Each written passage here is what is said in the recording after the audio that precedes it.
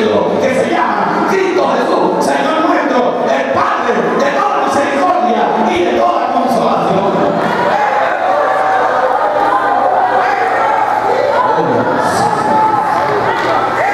Aleluya, usted el pastor nunca tiene prueba, tranquilo.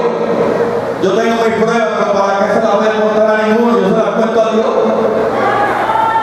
Porque si le llevo mis cargas a Samuel Estrella, tiene sus. Si se la llevo al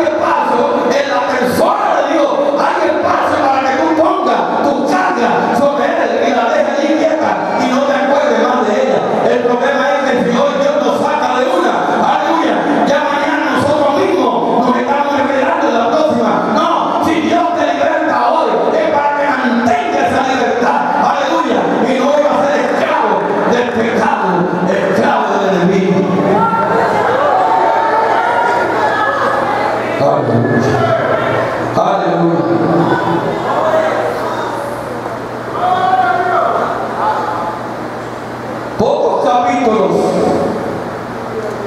pocos capítulos del Nuevo Testamento revelan el corazón de Pablo como lo hace este capítulo. Aquí vemos al gran apóstol admitiendo sus temores y fracasos al referirse a los sufrimientos que había soportado. El problema es que a veces no queremos abrirnos el corazón, el orgullo, esa vanagloria. Yo ir allí y, abrir mi corazón a los pies del Señor y decirle la que estoy pasando. Yo, no, yo no. Si me quiero ir, que me oiga, pero yo no voy a abrir la boca, hermano. Hay momentos a veces que hay que abrir la boca y confesar con nuestra boca. Aleluya, que Jesús es el Señor y dueño de mi vida. Hay que confesar y si estamos pasando por una venga la tarde y digan, Señor, aquí estoy. Tú sabes que estoy pasando por esta. No tengo fuerza. Estoy en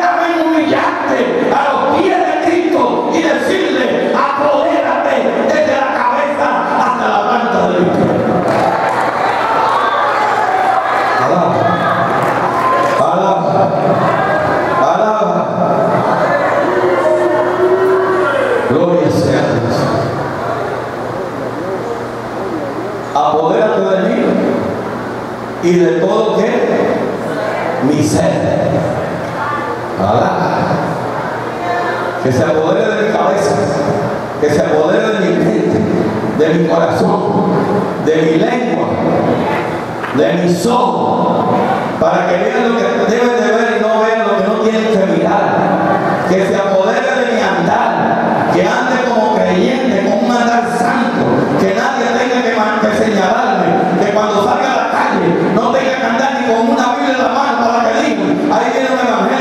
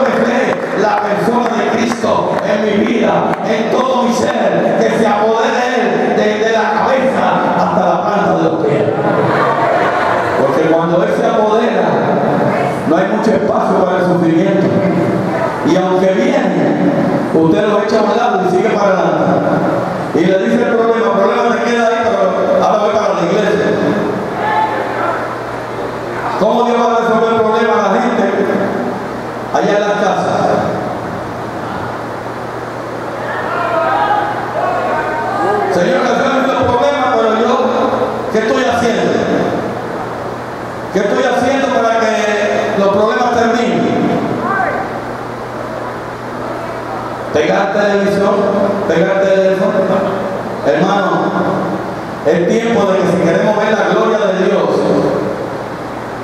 y yo no digo que antes Dios se manifestaba más abiertamente que hoy, no, yo no digo eso. Dios se manifestó abiertamente en el pasado y también en el presente sigue manifestado abiertamente. Eso es, eso no es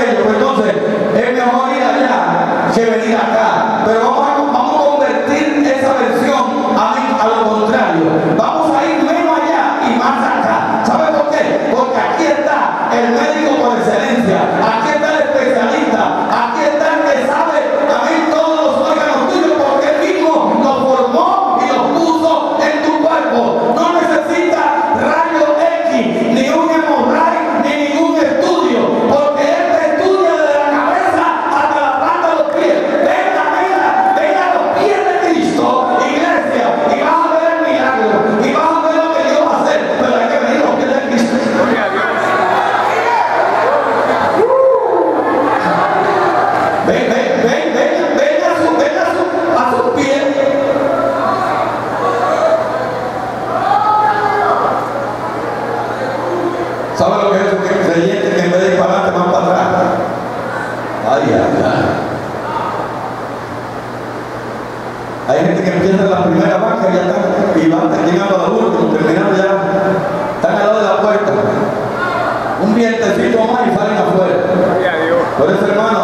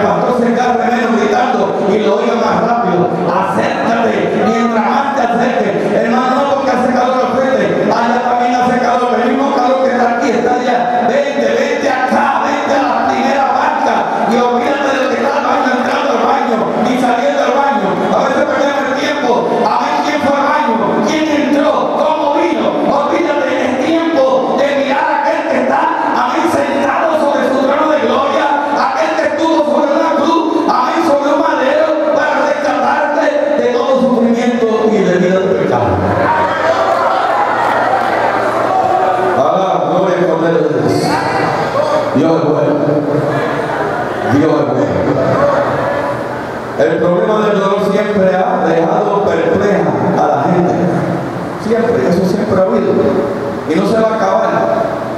Mientras estemos aquí vamos a tener problemas vamos a estar pasando por, por enfermedades, por sufrimiento. Mientras estemos aquí, eso está establecido. Si se cree que al venir el Evangelio o a Cristo se acabaron los problemas, yo les digo esta tarde, I'm sorry for you guys.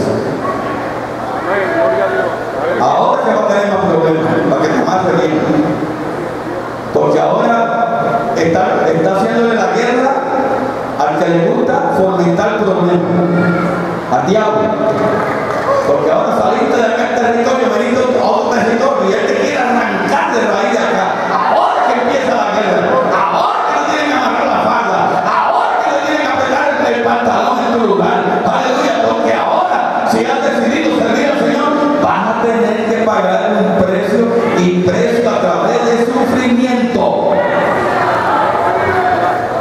Sí, porque no podemos decir amén. Que si viene el Señor todo estuvo de dos, que se te acaban los problemas, porque después cuando viene el primer problema, ah, porque el pastor no me dijo eso. Yo te lo estoy diciendo en esta tarde. Ah, la iglesia no me, no me habló de que en Cristo se sufre más. Sí, aquí se sufre más. Pero lo bueno que tenemos aquí es que tenemos a alguien que nos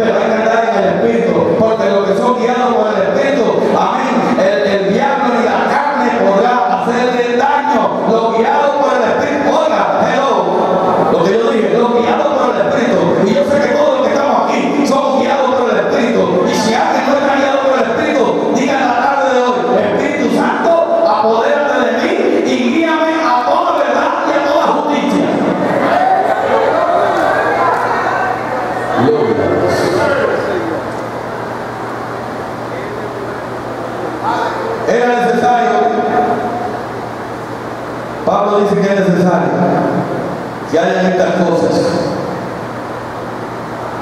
¿Por qué debe de sufrir el justo? Es una pregunta que se halla en las escrituras desde Job hasta Apocalipsis. En este capítulo hemos leído, gloria sea al Señor, en este capítulo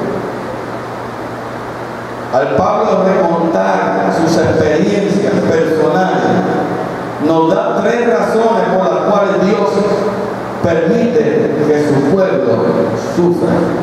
Número uno, número uno, propósito número uno, ¿por qué tenemos que sufrir? Para que podamos consolar a otros. Si usted no ha pasado por esto, por aquello, ¿de qué va a hablar de eso a otra persona que esté pasando? Pero si usted ha pasado por una